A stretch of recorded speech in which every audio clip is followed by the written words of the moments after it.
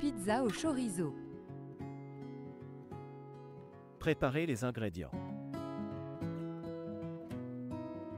Une pâte à pizza maison soit deux pâtons de 360 g. 220 g de sauce tomate maison. 80 g de mozzarella râpé. 70 g de jambon blanc. 70 g de chorizo. 40 g de champignons de Paris. Une cuillère à soupe d'huile d'olive. Préparez à l'avance une pâte à pizza maison. Je vous donne ma recette en description. Pour rendre la pizza encore plus gourmande, faire la sauce tomate vous-même. Je vous donne ma recette en description. Commencez par couper le jambon blanc en petits carrés. Ensuite, coupez le bout terreux de la queue des champignons de Paris. Nettoyez les différentes parties en les brossant ou en passant un chiffon propre humide dessus. Les coupez ensuite en lamelles.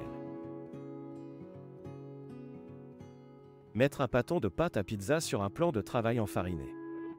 Enfoncez les pouces au centre de la boule et les écarter vers l'extérieur en pressant légèrement. Puis, continuez avec les doigts pour aplatir la pizza en partant toujours du centre. Ne jamais presser le dernier centimètre du bord.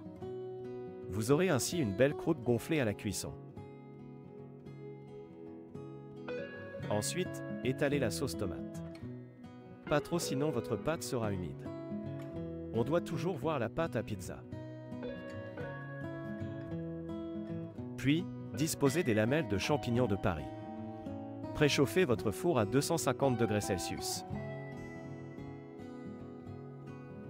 Rajoutez ensuite les morceaux de jambon blanc. Disposez les tranches de chorizo. Finir avec la mozzarella râpée.